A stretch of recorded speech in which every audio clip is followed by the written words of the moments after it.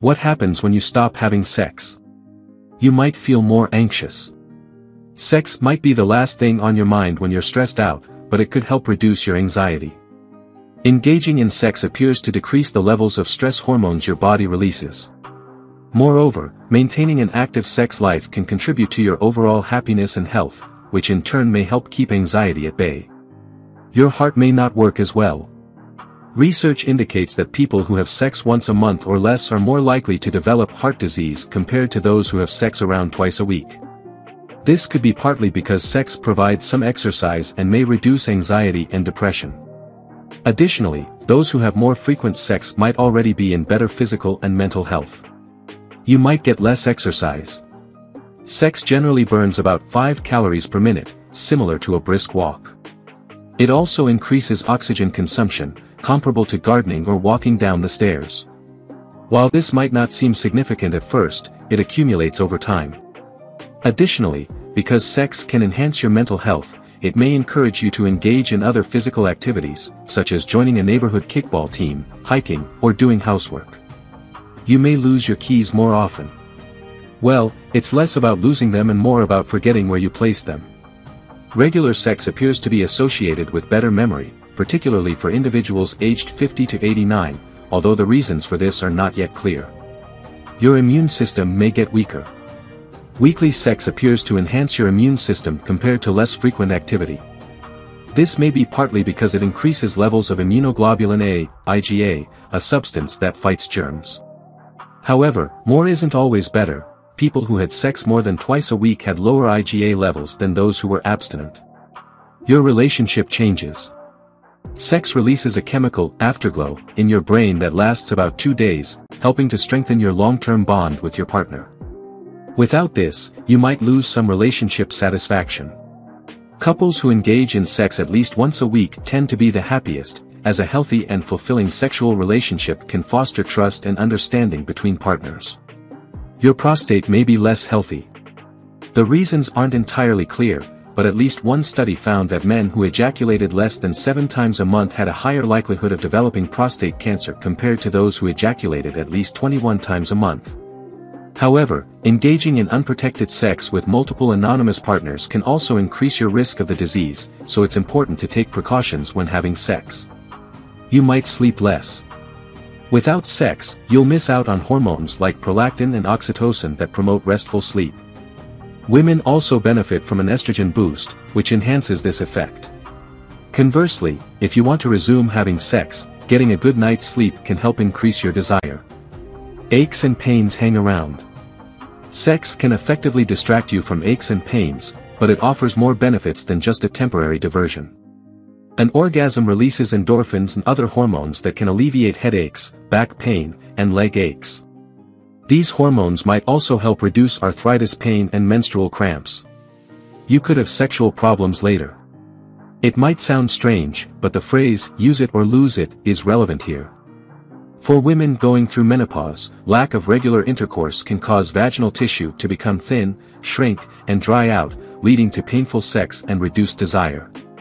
Additionally, some research indicates that men who have sex less than once a week are twice as likely to experience erectile dysfunction, ED, compared to those who have sex weekly. Your blood pressure might rise. Sex appears to contribute to maintaining lower blood pressure levels. This is logical when you consider its effects, it involves some aerobic and muscle-building exercise, reduces anxiety, and enhances overall well-being, all of which contribute to maintaining healthy blood pressure levels. From love bombing to gaslighting, red flags one should never ignore in romantic relationships. Embarking on a journey of love is beautiful, yet it's vital to recognize behaviors indicating an unhealthy relationship. While ups and downs are normal, certain warning signs should never be overlooked. Identifying these early can prevent emotional harm and nurture healthy, respectful connections. Here are some crucial red flags to be mindful of in romantic relationships. 1. Love bombing. Love bombing is when one partner floods the other with intense attention, flattery, and affection in the early stages of the relationship. While initially thrilling, this excessive display of love often masks underlying issues. The love bomber's goal is to swiftly establish control and foster dependency. After gaining control, the overwhelming affection typically decreases, leaving the recipient feeling uncertain and insecure. 2. Isolation. Isolation happens when one partner tries to separate the other from friends, family, and other support systems. This can be subtle, like discouraging social interactions, or direct, such as prohibiting contact with loved ones. Isolation heightens dependence on the abuser and makes it harder for the victim to seek assistance or recognize the abuse. 3. Controlling behavior. Controlling behavior can appear in different forms, such as dictating a partner's clothing choices, social interactions, and daily activities. This control may also extend to financial matters, including restricting access to money or financial details. Such behaviors diminish autonomy and can result in feelings of powerlessness and confinement. 4. Excessive jealousy and possessiveness. While a degree of jealousy is typical in relationships, excessive jealousy and possessiveness should raise concerns. This may involve frequently monitoring a partner, baseless accusations of infidelity, and a constant need for detailed knowledge of their activities. Such behavior stems from insecurity and often escalates into controlling and abusive actions. 5. Disrespect and dismissiveness. In healthy relationships, mutual respect forms the foundation. When one partner consistently shows disrespect, belittles, or disregards the other's feelings, opinions, or accomplishments, it signals a serious concern. This behavior may manifest as verbal abuse, including name-calling or making hurtful jokes at the partner's expense. Such actions can profoundly impact self-esteem and indicate an unhealthy relationship dynamic. 6. Frequent mood swings. While occasional mood swings are common, frequent and unpredictable changes in mood may signify underlying issues. If a partner's mood swings make you feel constantly on edge or compelled to constantly appease them, it is a reason for concern. This behavior can contribute to emotional exhaustion and anxiety.